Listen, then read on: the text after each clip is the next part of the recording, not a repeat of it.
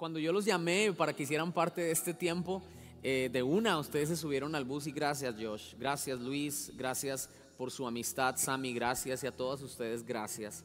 Em, en esta iglesia pues hemos pasado tiempos juntos, ¿verdad? Con actividades, hemos hecho cosas muy bonitas y pues qué mejor que estar juntos en familia.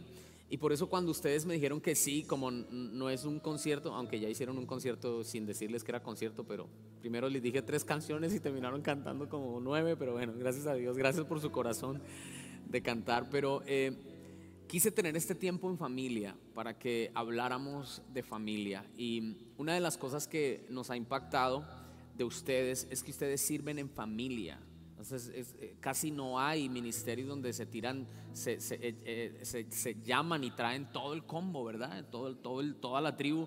Em, Emanuel era el único, ¿verdad? Emanuel Espinosa, hace algunos años atrás que llevaba así, cuando Emanuel decía, ¿cuántos van? Bueno, somos cinco de banda y diez de la casa. no, mentira. Bendecimos a, a Emanuel. Pero aparte de eso me puse a pensar y realmente ustedes siempre han marcado esa pauta de servirle a Dios en, la, en familia.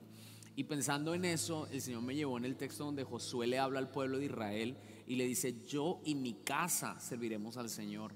Recuerdo que cuando yo era eh, pequeño, y a lo mejor muchos se, identifican conmigo, que cuando la mamá de uno le preguntaba a uno, ¿usted para dónde va? ¿O con quién va a ir a jugar? No, mis, eh, yo y mis amigos. Y mi mamá me respondía, el burro por delante. Usted sepa que se dice primero mis amigos y yo. Pero Josué no le importa la gramática, él dice yo y mi casa, porque hay un principio, ¿no? Y ustedes como padres han modelado algo que después sus hijos han seguido. Entonces quisiéramos aprovechar este tiempo y tenemos algunas preguntitas para, para cada uno de ustedes. Ojalá el tiempo nos lo dé. Y con mi esposita queríamos hacerle algunas preguntas a cada uno de ustedes. Y quisiera empezar por Luis. Luis, ah, Luis Morales es, es el. ¿Tú eres el mayor de tus hermanos? No, no, no, no. Parece. ¿Quién es el mayor? Parece Me tienen respeto, pero no. el mayor será el menor. Ay, sí, ahí se aplica la Biblia. ¿Quién es el mayor entonces? ¿Josh? ¡Wow! Bueno, sí, no, no, no, no, no, no, no es de que te veas viejo, no, no. son las canas de sabiduría. Son las canas de la sabiduría.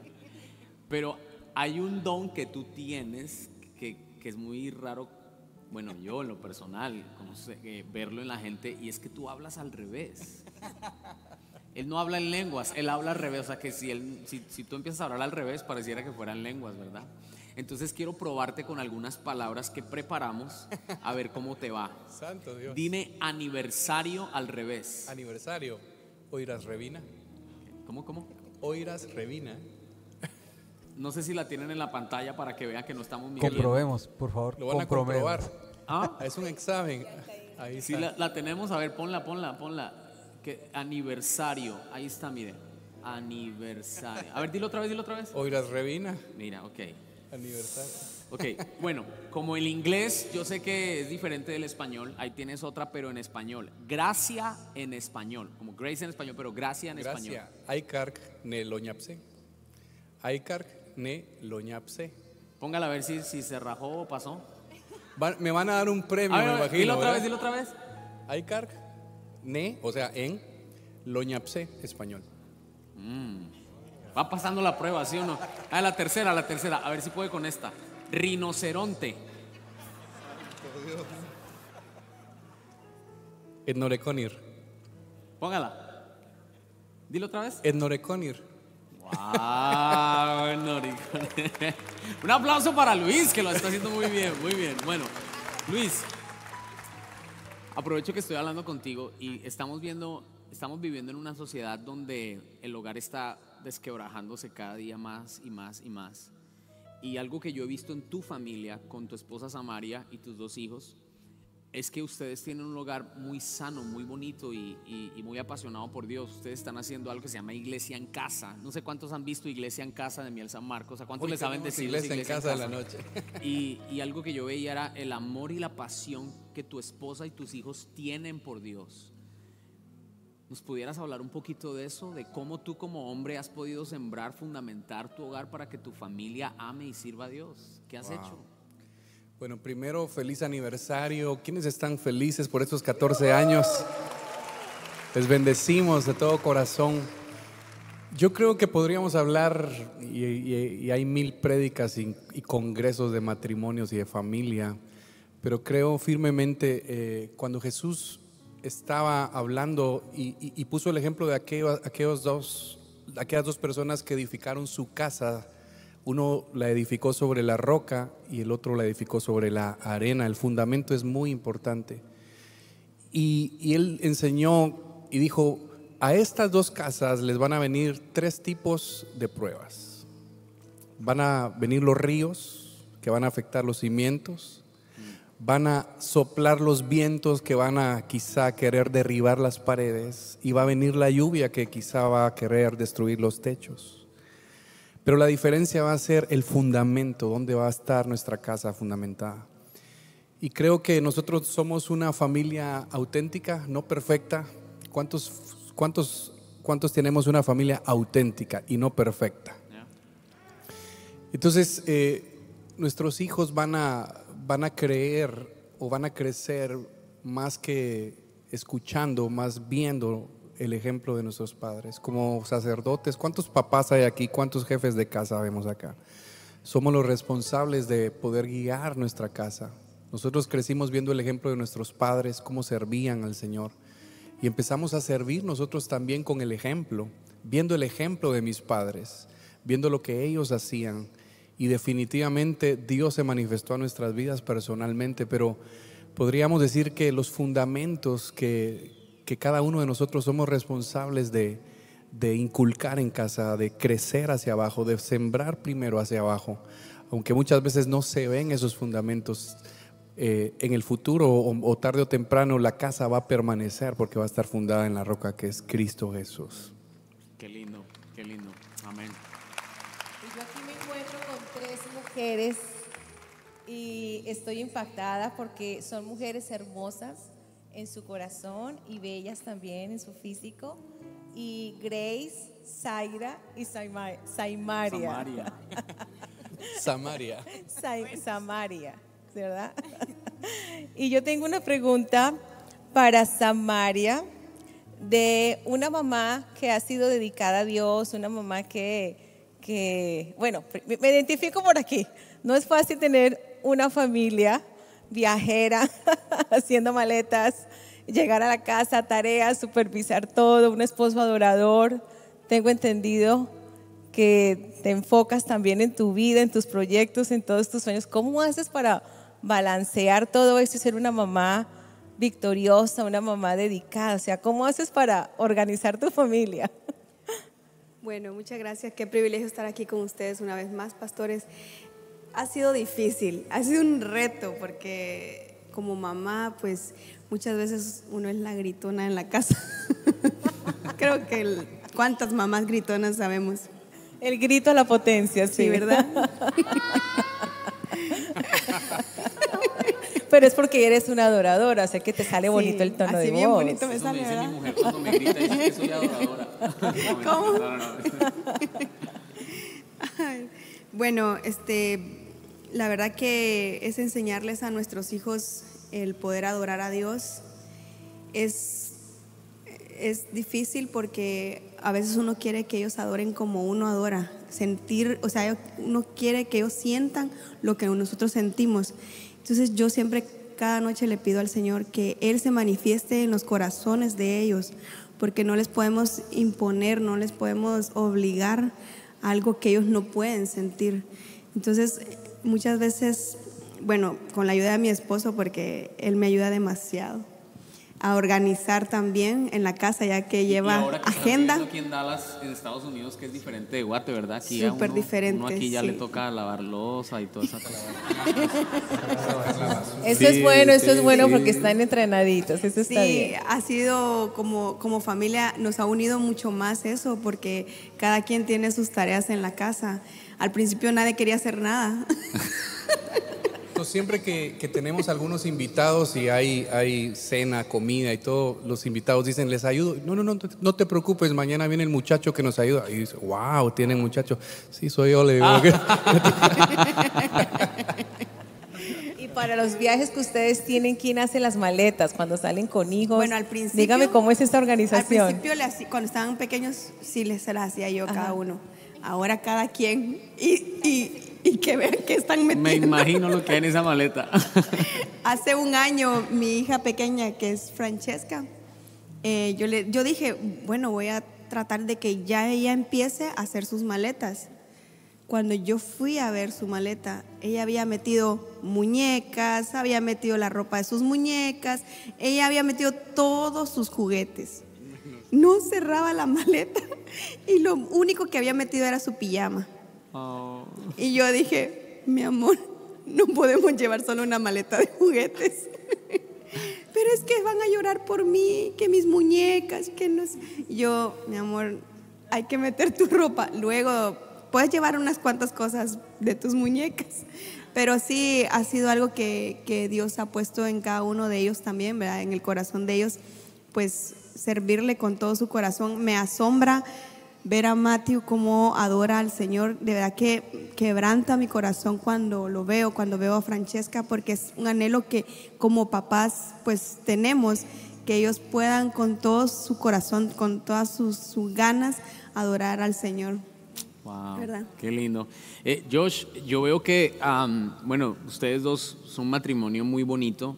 Fí- físicamente los dos son, son apuestos. Eh, no tanto como yo, Josh, pero ahí vas. Eh, pero, pero hay algo que, que- he visto en el matrimonio de ustedes, es que ustedes tienen un matrimonio que lo disfrutan. Vivimos en una generación donde a veces el matrimonio no es un deleite, sino un, aguante, ¿no? O sea, me toca aguantarme lo que más voy a hacer por los hijos que tenemos. Y como tenemos siete, pues ni modo, hasta que cumplan 40 años y después miramos si me puedo divorciar. Pero tú como hombre, ¿qué, qué- cuál ha sido la clave para tener un hogar con tu esposa como matrimonio, los dos? eh, un matrimonio sano, un matrimonio donde se pueden divertir, un matrimonio divertido, un matrimonio romántico. Cu- ¿Cuál ha sido esos ingredientes que tú como hombre has, has puesto en tu matrimonio para que esté como está hoy? No es perfecto, yo sé que no, pero, pero sí estoy seguro que tienen un matrimonio muy lindo. ¿Cómo has hecho? Estábamos en backstage y estábamos a sartenazos dándonos. No, Ah, sí, claro. Bueno, pero pre- pretendamos que todo pretendamos está bien. que todo está bien. Ha sido eh, una bendición, pero siempre un aprendizaje completo. Yo recuerdo que cuando éramos solteros, ¿sabes? Eh, ellas son de Honduras, nosotros de Guatemala, algún chapín aquí, de Tierra Santa. Que, que por cierto, espera, por cierto, no, no sé si sabían, pero, pero Luis y Josh son hermanos. Y Zaira y Samaria son hermanas. Entonces uno queda como que, ¿eso está en la Biblia? No, sí está permitido, está permitido, es, doctrina sana. Pero sabes, cuando éramos novios, recuerdo que algunos nos daban unos consejos, no sé si tú te recuerdas, pero nos aconsejaban mal. Nos decían, uy, ni piensen en casarse, les va a ir de la patada, les va a ir mal. Entonces muchos hablaban de cómo les, les iba. Entonces, imagínense, nosotros de novios eh, nos va a ir mal, eh, pero pues, yo la he amado con todo mi corazón, ella me ha amado y, la, y, me, y bueno, nos vamos a seguir amando. Pero estábamos con eso, ¿no? a ver si nos va a ir mal. Pero yo miraba a mis padres y en mis suegros otra historia. Yo miraba que mis papás, bueno, siempre lo hemos dicho, las mejores prédicas de mi papá no se las hemos oído, se las hemos visto. Y han sido de tanto ejemplo. Entonces, para nosotros fue como, nos están aconsejando que nos puede ir mal en el matrimonio, pero para nosotros es la mejor experiencia. Entonces, eh, pusimos todo en las manos del Señor y yo hice algo, aprender aprender bastante, a honrarla. Y esto es de todos los días, no solamente cuando las cosas van bien, sino aprender cómo el, cómo el Señor también eh, nos trata como hijos y yo como cabeza tengo que tratar a mi esposa y a mis hijos. Eh, esto es constantemente un aprendizaje. Hoy yo estaba asustado un poquito viendo cómo va el algoritmo de los aparatos inteligentes, ¿no? Eh, los teléfonos, si, si yo pongo aquí mi teléfono celular y empiezo a pronunciar palabras como Cancún, playa o esto y lo otro, de repente yo voy a abrir mi teléfono y tengo publicidades de Cancún y uno dice, ¿cómo nos están escuchando? O uno dice alguna palabra y rápido el algoritmo de los aparatos inteligentes vienen y empiezan a buscar publicidad de lo que está hablando esa persona. ¿Quién está diciendo? Sin estar hablando con el teléfono. Sin estar hablando. No sé si sabían eso. El teléfono los está escuchando. Entonces tú pones ahí el teléfono y dices Grace en español. Viene una publicidad de la iglesia también. Pero es un algoritmo que ya viene con los aparatos inteligentes que están tratando de descifrar la mente humana. Tremendo. Entonces imagínate, si esto lo está haciendo el humano, ¿qué no está haciendo el enemigo si tú estás pronunciando Wow. palabras negativas? Te va a enviar publicidad, te va a mandar cosas negativas y si como esposos empezamos a agarrar esas publicidades, si empiezas a hablar odio, rencor, te van a mandar publicidades a tu alma, a tu mente, de cómo eh, eh, estás lleno de odio, de miedo, de esto, del otro. Por eso es muy importante que hablamos en casa, los hombres, los, papás. ¿Qué estamos diciendo? ¿Qué estamos pronunciando? También si tú hablas algo negativo, si tú empiezas a, a- a decir cosas de pecado, esa publicidad te va a aparecer en tu teléfono. Imagínate eh, eh, en nuestra relación. Si tú estás hablando de, de pecado, vas a recibir publicidad en tu mente para pecar. Entonces para nosotros, para mí como, como papá, como, como esposo, eh, como hijo también, es muy importante qué hablo. Porque algo muy importante es, esos aparatos no saben lo que yo estoy pensando. Tengo que hablarlo. Ok, entonces si yo empiezo a decir cosas negativas, el enemigo va a empezar a dardearme, va a empezar a, a mandarme esa publicidad. ¿Por qué digo esto? Porque a veces como, como esposos herimos, como esposos decimos cosas muy fuertes y tengamos cuidado, porque ahí es donde viene el enemigo y empieza, ah, este está hablando de esto, le voy a mandar una publicidad para que caiga en esto. Ah, este, este hombre está hablando de, de pornografía, le voy a mandar esta, le voy a mandar esto, le voy a mandar lo otro. Entonces, para mí es muy importante como esposo cuidar lo que estoy hablando. ¿Qué es lo que estamos hablando en casa? Pero si yo me lleno de la palabra de Dios, Wow. pero si yo me lleno del perdón de Dios, pero si yo, yo me lleno de amor, de palabras de amor a mi esposa, a mis hijos, los empiezo a bendecir, a marcar, pues también el Señor va a ser tan especial y nos va a cubrir. Para mí es muy importante como, como matrimonios es qué estamos hablando, qué estamos diciendo, qué estoy hablando, qué me están oyendo mis hijos decir. Es muy importante llenarnos del amor de Dios. Gracias por esa palabra tan linda. Amén. La Y recibimos. escucharte hablar, pues me hace pensar de la dama y de la esposa hermosa, Zaira, que tienes. Y quiero hacerte una pregunta. ¿Cómo haces para guardar tu corazón de esos dardos cuando el enemigo quiere mandar tristeza, quiere mandar dolor, cansancio, frustración? Porque hoy escuché a ese amado hablando muy romántico, pero yo no sé cuándo de pronto todo esté como en estrés.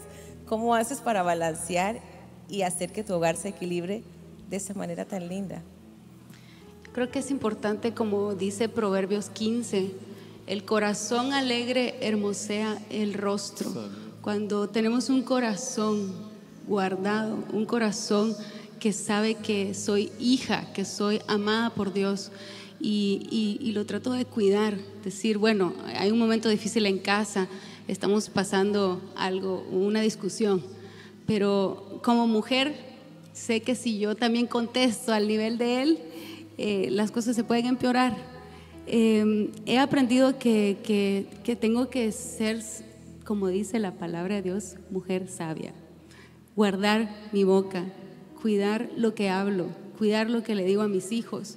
Y, y- sé que la hermosura está por dentro primero. Primero, el- el- la hermosura que tú tienes como mujer no es lo físico sino, físico, sino lo que tú tienes adentro. Si en tu corazón hay paz, si en tu corazón hay amor, si en tu corazón hay gratitud, eso es lo que vas a reflejar. Pero si tú estás amargada, si estás resentida con la gente, si, está, si todo te cae mal, eso lo vas a reflejar. La gente te va a ver y esa mujer, aunque sea muy bonita por fuera, pero transmite algo mal. Es todo lo que tú tienes dentro de tu corazón lo que vas a reflejar en casa o con tu esposo. Y eso he aprendido que, que, que somos mujeres únicas, que Dios nos hizo diferentes. Yo no soy igual que mi hermana, aunque somos hermanas, nunca voy a ser igual que ella, sino que aprendí a amarme como soy, decir, Señor, soy tu hija y quiero guardar mi corazón y no, y no irme a, a la comparación, que muchísimas veces caemos en eso, quererme comparar, es que ella, ella hace esto y yo no, y entonces mejor me quedo aquí y no hago nada y me escondo. No, tienes que, que reconocer lo que Dios puso en ti y, tratar de, de, decir, bueno, Dios me dio esto y, voy, y, con esto voy a bendecir mi casa, voy a hablar y decir palabras de bien a mi esposo. Y cuando estás atrás de él o a la par de él apoyándolo, las cosas caminan mejor. Yo me doy cuenta que cuando él está haciendo algún proyecto, yo estoy, no, eso no, aquí no. El ambiente en mi casa cambió. Eh, él se me pone diferente, se pone frustrado, pero cuando yo voy y le digo, qué lindo se escucha eso, qué bien vamos, mira, esto sonaría mejor así, el ambiente cambia. Dele, Entonces dele, hay hermana, un dele. poder importante ¿eh? que tenemos las mujeres en casa y que tenemos que reconocer, a ver, dígame si no, si uno de, de esposa viene y empieza, es que no sé qué, que no sé cuánto, es que y bla, bla, bla, y, bla, bla, y seguir, bla, bla, y hasta que hay un momento que el esposo dice, ya, ya, ya no quiero seguir, me voy, hago esto, porque llegamos a, a caer en ese momento de desesperarlos, ¿verdad? Entonces tratemos de, de, guardar nosotras el corazón de ellos como el nuestro, pero también el de ellos, siendo mujeres eh, sabias, mujeres eh, que amamos a Dios. Y las solteras, Eso. aprendan, aprendan desde ya porque Dios tiene preparado el ideal para ustedes. Ustedes todavía no. Allá atrás Espérense. falta mucho, es que por aquí favor. hablaron y esto está en chiquita. Falta mucho ahí.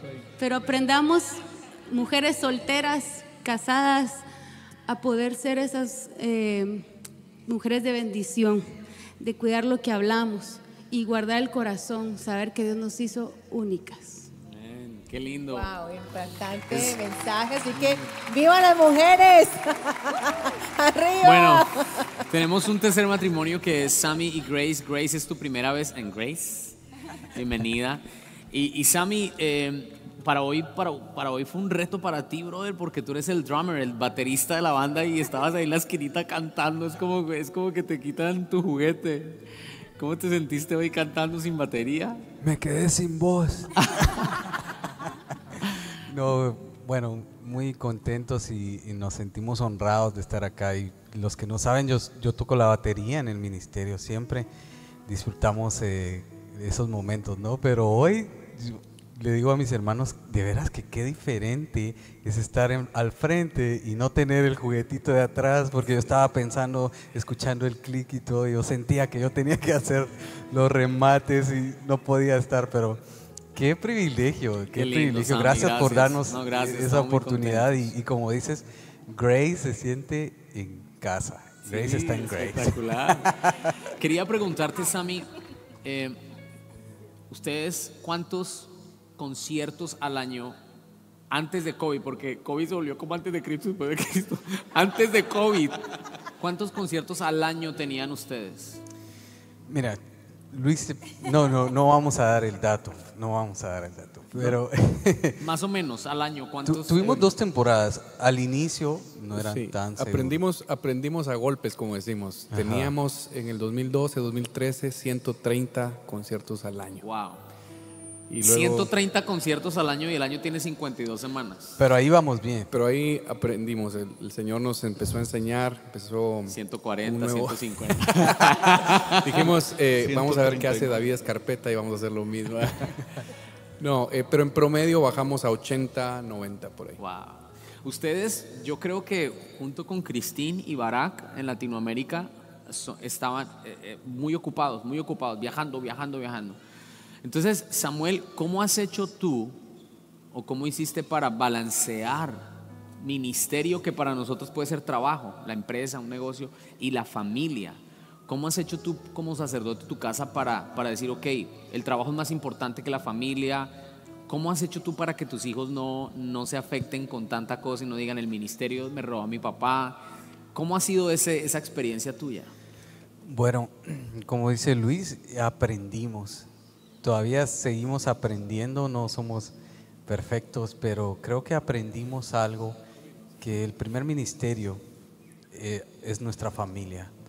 Independientemente si sirves en una iglesia o no, eh, eso principal y tan valioso que Dios te dio está ahí a la par tuya ahorita o está en casa, eh, que es la familia.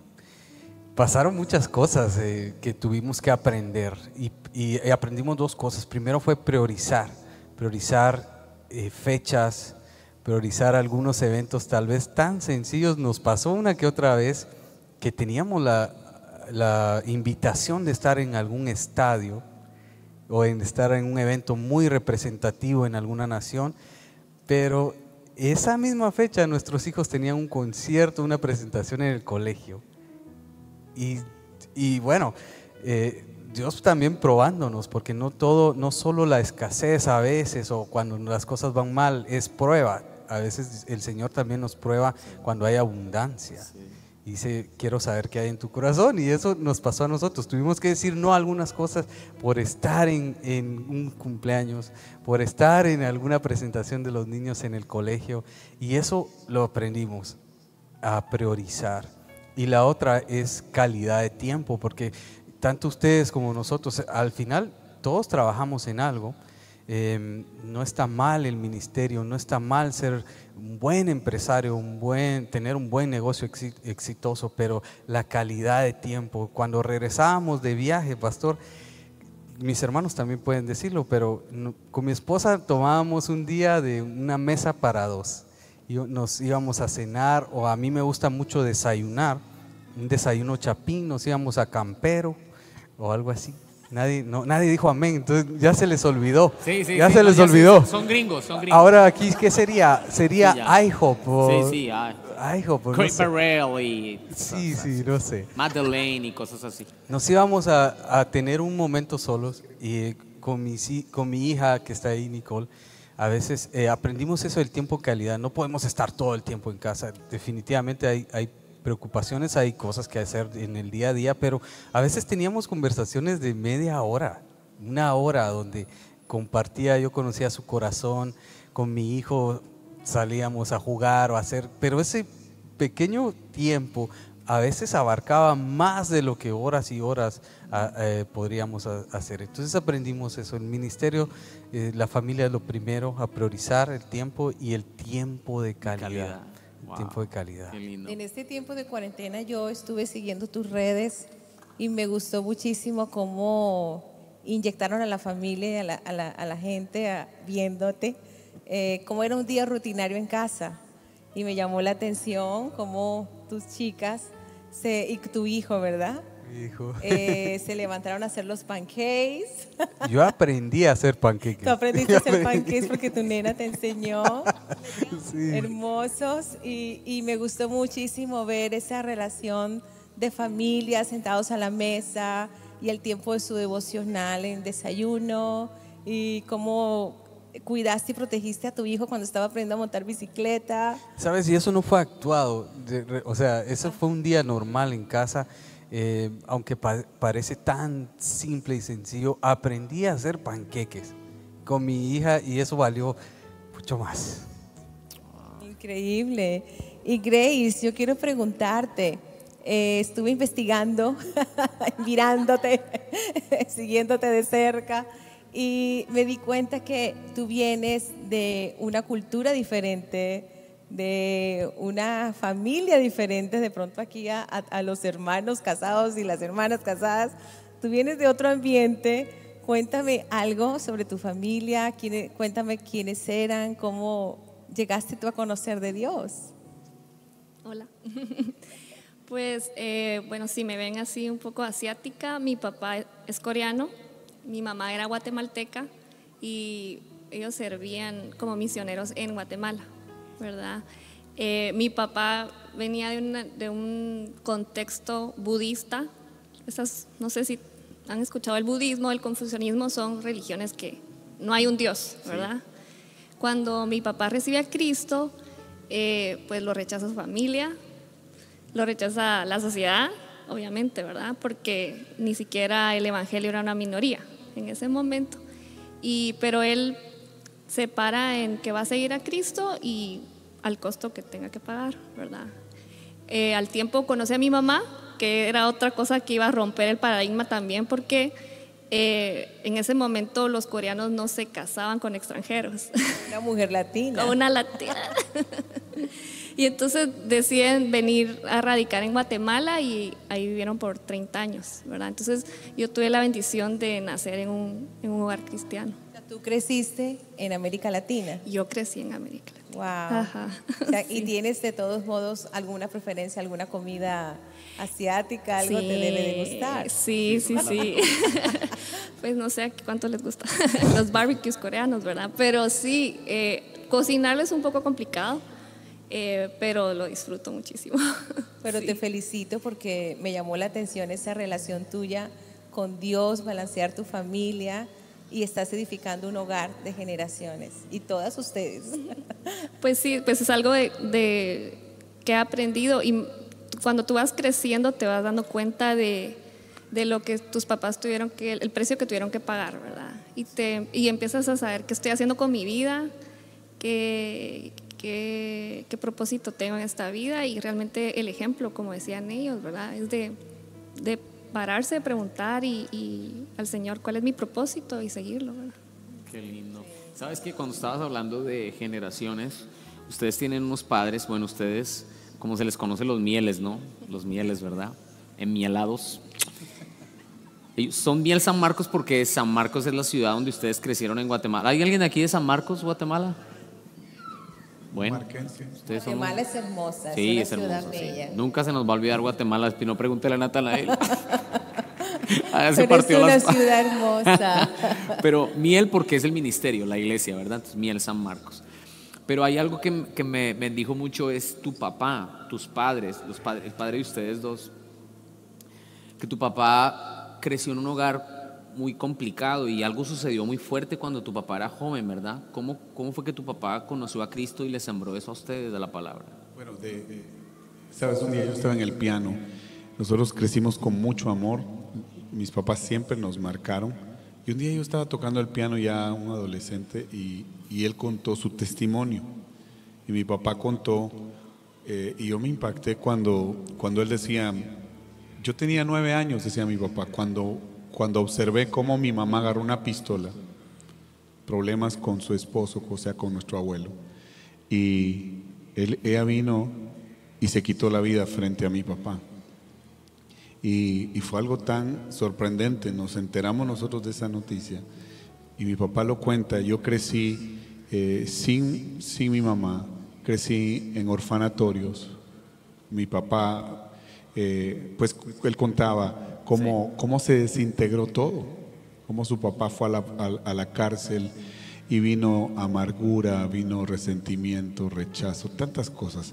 Entonces él, él creció en orfanatorios con odio, con una semilla tan fuerte de, de resentimiento contra todas las personas. Cuando él sale de los orfanatorios, él va a las calles a hundirse en drogas, a hundirse en las pandillas, a hundirse en los vicios y volvió al ciclo, intentó suicidarse varias veces. Imagínate yo escuchando el testimonio de mi papá en el piano y llorando y también Dios hablando a mi vida. Eh, pero, pero él dice, en una de las calles de Guatemala, yo ya lo había probado todo, pero en una de las calles de Guatemala me dieron el mensaje de salvación, que había alguien que era más poderoso que las drogas, que el odio, que el resentimiento y ese alguien que es más poderoso es Jesús. Y es el nombre que es sobre todo nombre.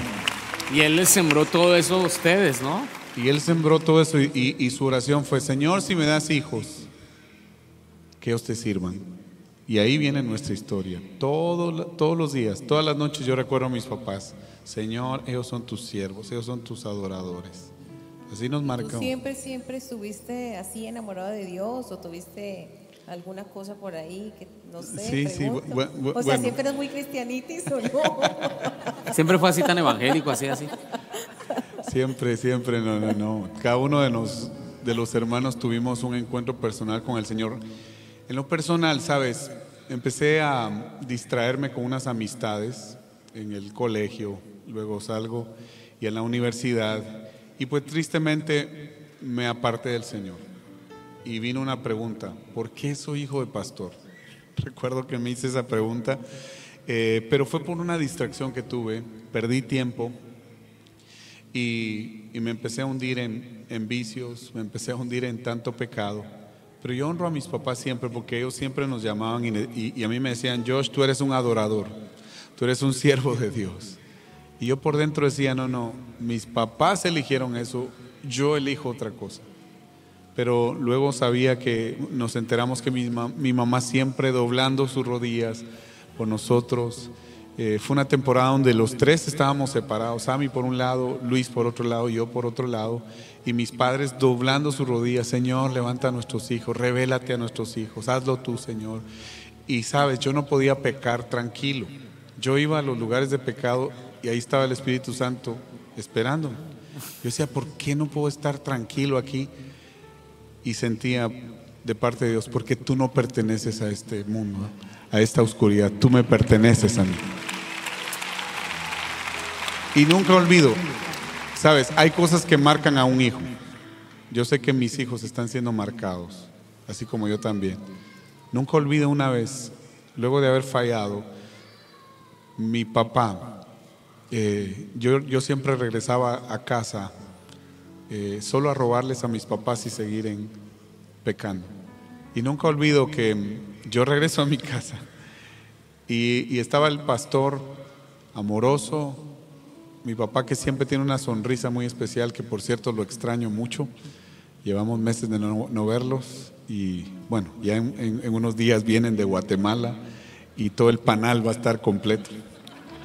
Pero nunca olvido que esa madrugada yo toqué la puerta y, y mi papá me mira de pies a cabeza y él sabía la condición que yo estaba, él sabía de dónde venía, pero él me sonrió y él me dio un beso y me dijo, ¿cómo está el siervo de Jehová?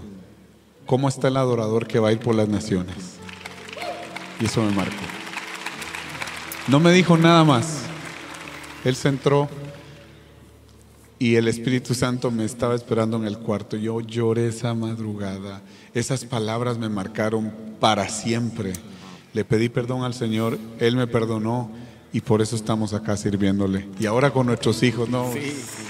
Ah, es increíble, qué lindo testimonio. Y bueno, ya, ya para terminar, yo, sí, claro. Eh, ustedes generalmente los invitan a ustedes solamente para hablar, pero tenemos esta generación que está detrás de ellos. ¿Los quieren escuchar un momentico antes de terminar? Amén, claro. Y, y ahorita vamos a cantar antes de irnos. Hoy es una celebración especial, ¿ok? Entonces, gracias por su paciencia, como en un cumpleaños, ¿no? Eh, usted no llega al cumpleaños. Bueno, ¿dónde está la comida que me voy ya? No, tranquilo.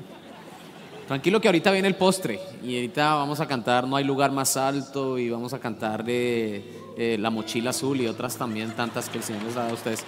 Pero tenemos a nosotros, tenemos con nosotros a, Matthew, Francesca, tenemos con nosotros a Nicole también y a, y a, a Valeska, Valeska. Bueno, eh, y a Matthew, quiero, quiero, quiero hacerte esta pregunta. Cuando yo veo los videos que tú haces con tus papás, eres un, ¿cuántos años tienes, perdón? 17, wow, Dios. Y yo veo el amor y la pasión con la que tú amas a Dios, cómo cantas, como decía tu mami, eh, esa espontaneidad que le das, o sea, tienes un corazón enamorado de Dios. ¿Cómo has hecho para enamorarte de Dios?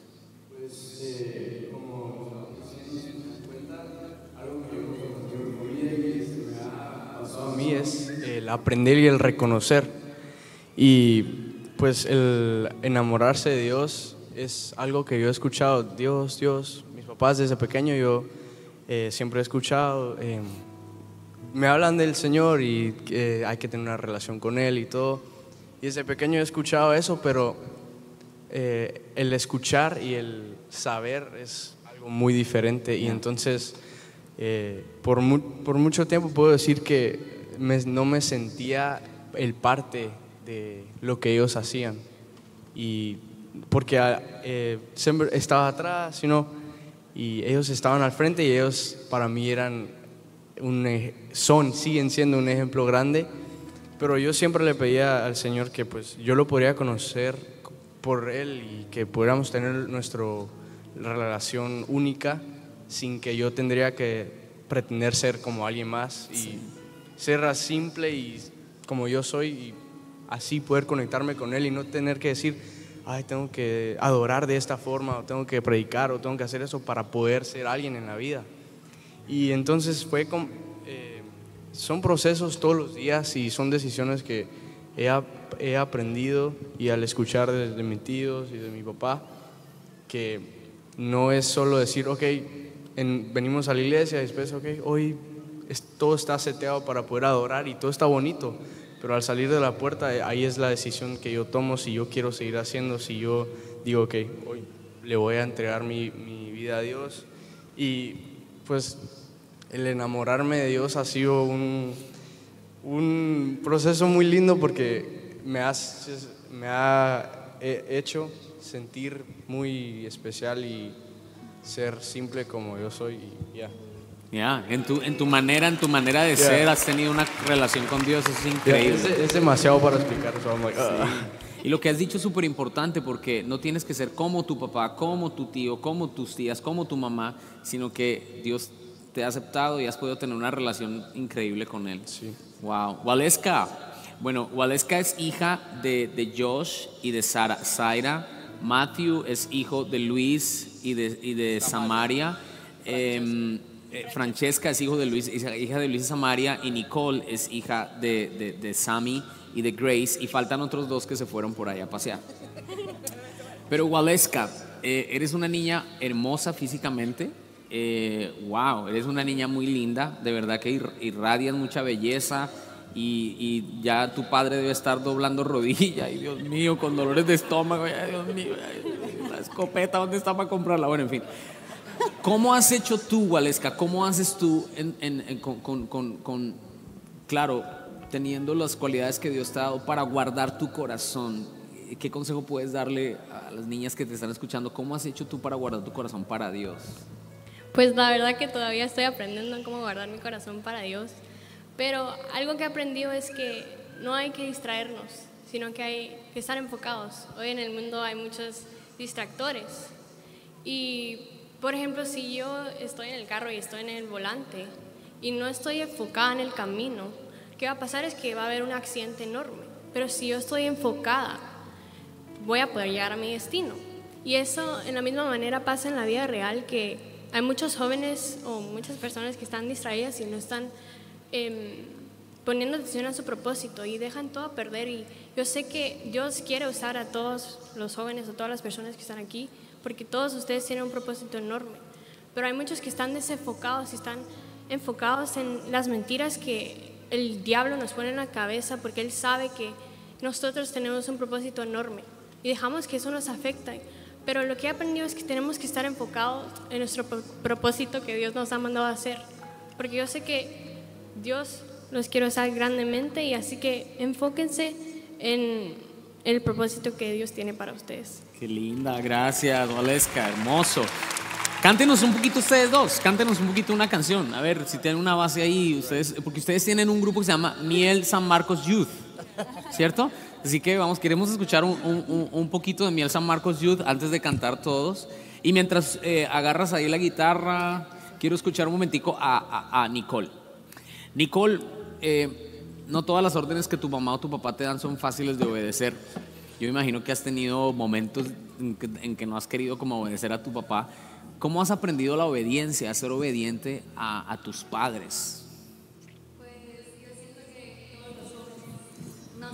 ha pasado, pero a mí que es difícil, a veces yo no me da ganas de obedecer o yo siento que tengo una mejor idea que una mejor opción de lo que sea que me están diciendo, pero yo siento que a veces tenemos que recordar que Dios puso a nuestros papás en nuestras vidas para guiarnos, para guardarnos del mal y para acercarnos a Él.